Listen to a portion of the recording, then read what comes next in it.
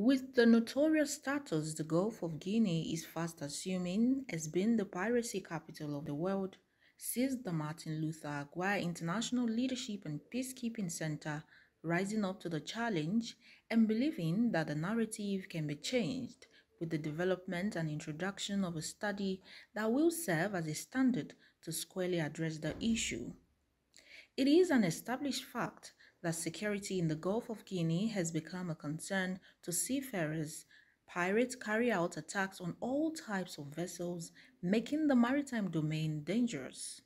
According to the International Maritime Bureau reports, since the beginning of 2021, there have been 38 incidents.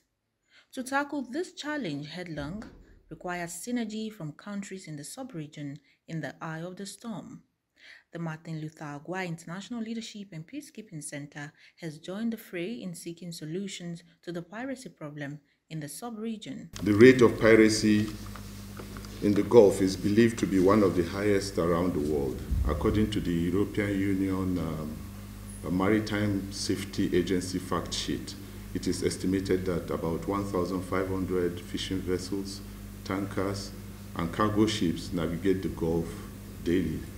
This huge volume of maritime traffic is constantly being threatened by piracy.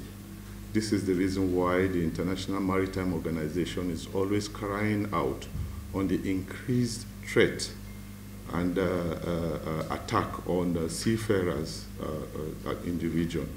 And this, um, whether we like it or not, this contributes negatively to affect global trade and um, safety of seafarers.